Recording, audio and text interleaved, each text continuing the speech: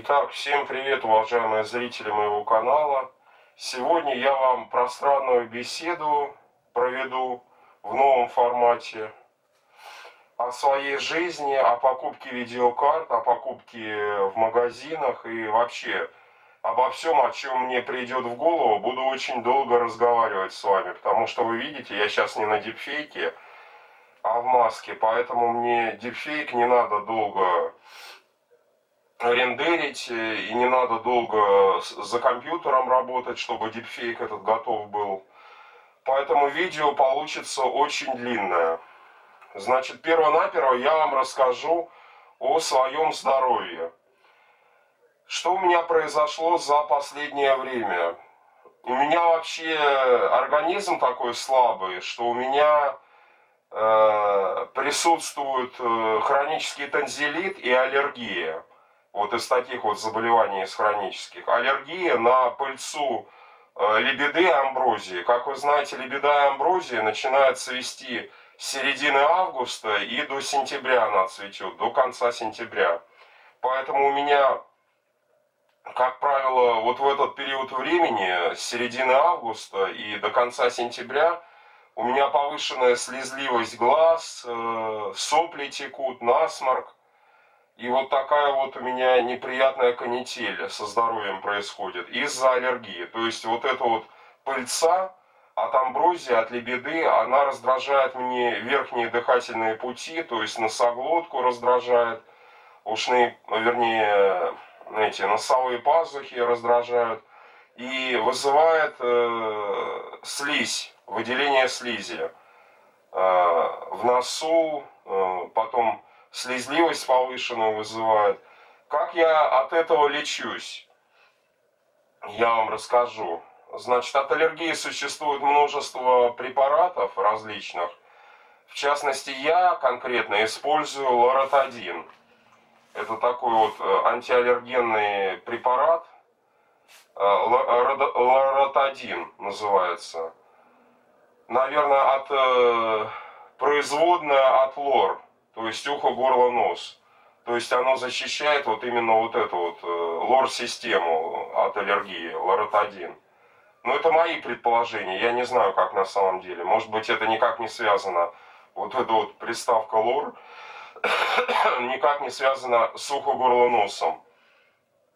Так что это лишь мои предположения. И вот, значит, что я вам хочу сказать еще. Аллергия у меня вот в последние, последнюю неделю, последние 2-3 дня очень хреново на боли в голове отдает. То есть вот у меня вот здесь вот где лоб – у меня там гайморовые пазухи, и они забиваются, по-видимому, соплями, слизью. И очень болит э, вот здесь вот, где лоб, где вот, э, где, как это называется, где брови, надбровные дуги, вот там вот у меня боль э, сильная. Как я ее купирую? Я ее купирую анальгином. То есть от боли в голове, вы знаете, анальгин э, используют. Вот я анальгином э, убираю боль э, во лбу, в районе лба. Вот видите, у меня еще кашель, да? И вот в придачу к этой аллергии, из-за чего у меня сопли текут, у меня еще была простуда, как я вам говорил, с 11 августа когда я искупался под э, холодным душем, у меня с тех пор простуда. И вот до сих пор она еще и не прошла. То есть э, залечил я вот ангину, вот э, боли в горле, э, аджесептом, э, рассасываемыми таблетками аджесепта я вылечил ангину. Но это не ангина, это ангина подобная такая хрень, когда горло болит. Просто когда боли в горле, обычно говорят, что это у тебя ангина. А это какая-то ангина подобная фигня, но по сути дела это простуда. Даже вот я подозреваю, если сейчас провериться, то вполне возможно я заболел коронавирусом. Но из-за того, что я привит, э, и у меня иммунитет на хороших показателях находится, у меня этот коронавирус э, протекал относительно легко, никакие легкие не задеты, вот у меня только остаточный кашель остался – вот. как вам, как подтверждение, я прокашлялся. То есть остаточный кашель аж остался, и, э, значит, сопли текут и от аллергии, и от простуды. И вот такой вот э, голова болит, такое вот у меня состояние нестояния, как некоторые говорят. То есть очень такое паскудное состояние здоровья. Вот так вот я вам могу это описать, свое состояние. Что очень хреновое состояние здоровья. Так, ну, о своем здоровье я поговорил, наверное, больше, чем 5 минут. Теперь перехожу к другим э, темам своего выпуска разговорного.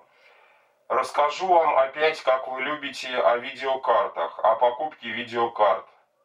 Э, вот в конце августа 2022 года. Сейчас такая ситуация сложилась на компьютерном рынке видеокарт, что в Китае видеокарты стоят очень дешево. То есть из Китая видеокарты продают на Озоне. Там много китайских фирм зарубежных, иностранных, и они продают э, китайские вот эти вот видеокарты на Озоне. И, как правило, на Озоне самые низкие цены. 3080 видеокарта RTX 3080 может стоить от 54 тысяч, от 55 до 60 тысяч рублей. Хотя вы знаете, в белых магазинах типа DNS, CityLink, онлайн-трейда сейчас цены на 3080 э, начинаются от 79 тысяч рублей и до 100 тысяч они, даже до 123 некоторые наглецы повышают на хорошие модели видеокарт RTX 3080, до 123 тысяч повышают цены. Ну вот э, я вам хочу сказать, что RTX 3080 это самая козырная видеокарта на 10 гигабайт видеопамяти или на 12 гигабайт. Вот вы ее можете купить на Озоне от 55 до 60 тысяч. В DNS, в Ситилинке, в онлайн-трейде и в других подобных магазинах вы можете купить ее ну, грубо говоря, от 74 тысяч, от 79 тысяч и до 100. Как найдете? Вот в Сетилинке я, допустим, находил э, за 86 тысяч 12 гигабайтную, даже за 85 тысяч 12 гигабайтную видеокарту Polit RTX 3080. Еще я вам хочу сказать, что если вы хотите небольшой прибавок FPS, то бишь кадров в секунду в играх, то вам лучше купить не RTX 3080, а RTX 3080 Ti. То есть вот эта вот приставка TI, она где-то 5%, 5-7% производительности дает видеокарта RTX 3080. Как вы понимаете, приставка TI это более лучшая версия, чем обычная 3080. И опять же, обычная 3080 бывает 2020 года модель, это 10 гигабайтная. И бывает 22 года модель RTX 3080, это на 12 гигабайт. Вы можете посмотреть это сравнение производительности видеокарт на сайте чайником.com. Вот там э, обозначена 10-гиговая версия RTX 3080 как за 2020 год, а 12-гигабайтная версия RTX 3080 обозначена как за 22 год модель. То есть, э, ну, естественно, более новая модель, там она более производительная, более мощная, более предпочтительная для покупки. И там у нее еще, кстати, шина видеопамяти немного пошире. Там 384 бита, по-моему, 12 гигабайтный RTX 3080, а у 10 гигабайтный RTX 3080, всего 320 бит. Шина видеопамяти, ширина пропускания видеопамяти. Вот. Как вы понимаете, чем больше бит, тем быстрее работает, тем выше пропускная способность видеопамяти. То есть тем быстрее работает эта видеопамять. То есть 12-гигабайтная версия, она лучше и новее у RTX 3080 от NVIDIA. Так, ну вот я вам рассказал о видеокартах. Э, это второй, вторая часть была моего рассказа. И теперь третья часть моего рассказа, как магазины завлекают э, покупателей в свои цепкие лапы. Значит, вот э, я вам хочу рассказать, что вот за, конкретно за сегодняшний день, за 25 августа 2022 года, мне пришло два интересных предложения.